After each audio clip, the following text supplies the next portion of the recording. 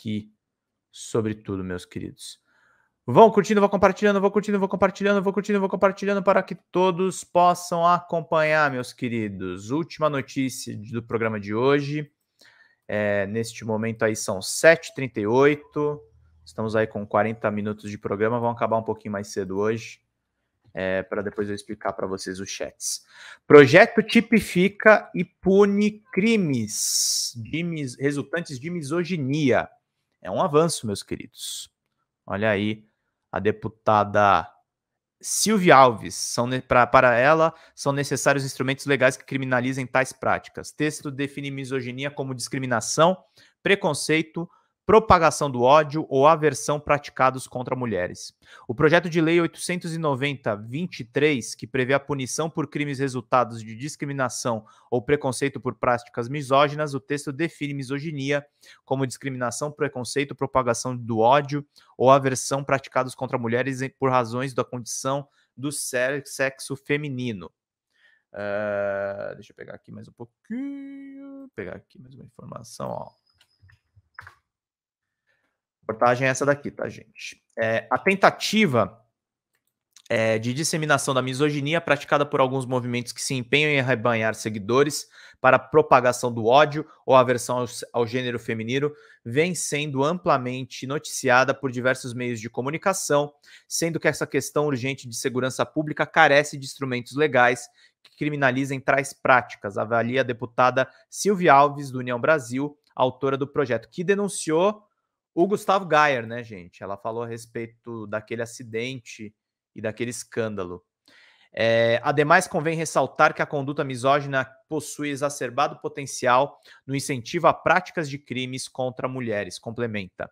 Injúria misógina, pela proposta em análise na Câmara dos Deputados, injuriar a mulher em prática misógina, ofendendo-lhe a dignidade ou decoro em razão da condição do sexo feminino, terá pena de reclusão de 2 a 5 anos e multa.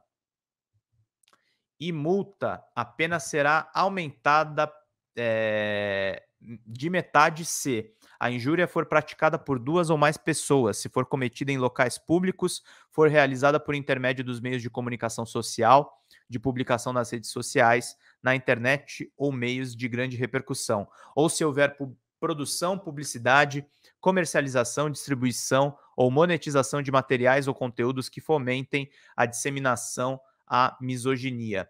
Nesse último caso, o juiz poderá determinar, ouvido pelo Ministério Público ou a pedido deste, ainda que antes do inquérito policial, sob pena de desobediência.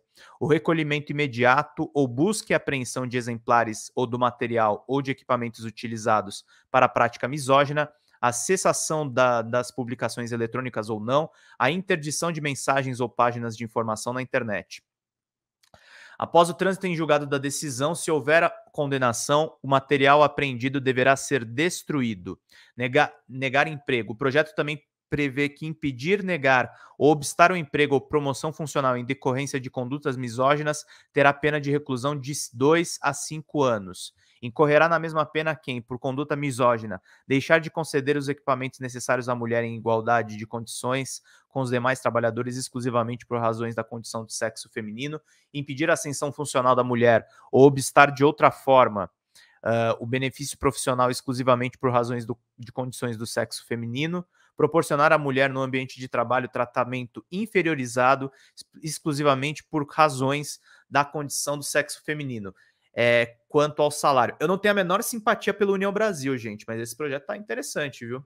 Recusar atendimento. Ainda no segundo texto, recusaram impedir a mulher de acesso a estabelecimentos, negando servir, atender ou receber cliente comprador exclusivamente por sua condição do sexo feminino, terá pena de reclusão de 1 a 3 anos. O texto prevê, com efeito, uh, da, de, da condenação de perda de cargo público ou função pública do servidor público e a suspensão do funcionamento do estabelecimento particular por até três meses.